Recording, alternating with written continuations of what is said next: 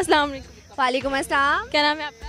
अनम शेख। क्या करती हैं आप? कुछ नहीं स्टडीज़ और जॉब अच्छा मुझे बताइएगा पाकिस्तानी पीपल पाकिस्तानी लड़कियाँ खूबसूरत खूबसूरत लड़कियाँ इंडिया के बारे में क्या सोचती हैं? सॉफ्ट कॉर्नर क्योंकि मुझे उधर के ना वो जो है लड़के बड़े पसंद हैं। लड़के बड़े पसंद है? नहीं इतने प्यारी लोग थी और जब मैं देखती थी उसे मैं फिदा हो जाती थी बस वही मुझे पसंद है यार। अस्सलाम वालेकुम वालेकुम अस्सलाम। क्या नाम है आपका? मैं नाहिल माशाल्लाह से आप बहुत खूबसूरत लग thank you thank you so much अच्छा मुझे बताएँ क्या चल रहा है आज?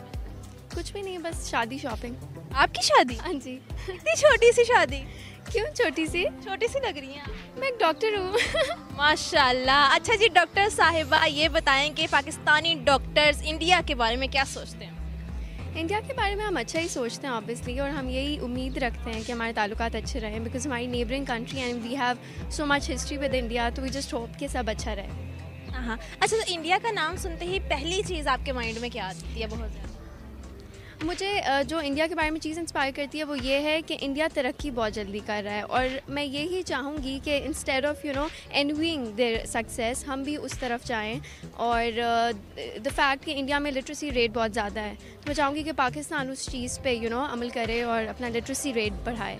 Because me being a doctor I would definitely want के और लड़कियाँ इस चीज़ में आएँ, पढ़ाई की तरफ़ आएँ।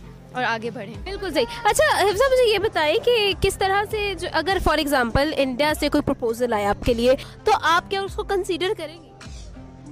डेफिनेटली करेंगे, लेकिन थोड़ा सा इशू ये है कि पाकिस्तान और इंडिया में इतने इख्तलाफात आ चुके हैं कि अगर मेरा ससुराल वहाँ और मायका यहाँ पे और कभी मेरी बंदे से लड़ाई हो ना तो मैं वापस कैसे आऊँगी? बस ये सोचूँगी मैं, लेकिन बाकी अगर इंडिया से रिश्ता आए तो अगर अच्छा रिश्ता आए तो मैं कर लूँगी, अगर बस बाकी कुछ नहीं चाहिए मुझे। अच्छा बिल्कुल सही। अच्छा ये बताएँ कि इंडियन खानों के बारे में और वहाँ पर आप गई भी हैं क्या क्या खाया, क्या पसंद आया, और दोबारा जाएँगी तो क्या चीज़ दोबारा करने का जो है आपको अभी तक है? देखें, इंडिया का डोसे बहुत अच्छे हैं, वड़ा पाव बहुत अच्छा है, इसके अलावा उनकी भाजी जिसको मतलब सब्ज़ी को वो भाजी कहते हैं, और वो भाजी हमारी तरह नहीं होती कि आलू, गोभी, बैंगन, टिंडे, वो अजीब व गरीब किस्म की चीज़ें होती हैं। मतलब इतनी बड़े बड़े कद्दू होते हैं, उसका भुरता बना होता है, और साथ चटनियाँ होती हैं तो बड़ा मज़ेदार किस्म का खाना होता है। हाँ लेकिन यह है कि मज़ेदार और वड़ा पाव जैसा हम हम लोगों ने कॉपी वड़ा पाव बनाया है, वड़ा पाव ऐसा नहीं होता। हम तो अंडे वाला बर्गर को वड़ा पाव कहते हैं, उनका वड़ा पाव बहुत ही यमी है बहुत ज़्यादा अच्छा तो अगर आपको इंडिया की तरफ़ से मतलब वहाँ पर आप जाएँ और आप विज़िट करें और वहाँ पर कोई लड़का आपसे शदीद किस्म की मोहब्बत में मुब्तला हो जाए और आपको प्रपोजल भी भेज दे पाकिस्तान में तो आप उसको कंसिडर करेंगे? अब मुझे प्रपोजल आएगा तो मैं भाग के चली जाऊँगी। भाग के चल जाएँगे। तो क्या आप खुद वहाँ जाना पसंद करेंगी या फिर घर जमाई बुला लेंगे? आ, मैं खुद वहाँ चली जाऊँगी क्योंकि घर जमाई बनाना अच्छी बात नहीं है उसके साथ रहना ज़्यादा अच्छी बात है हस्बैंड के साथ।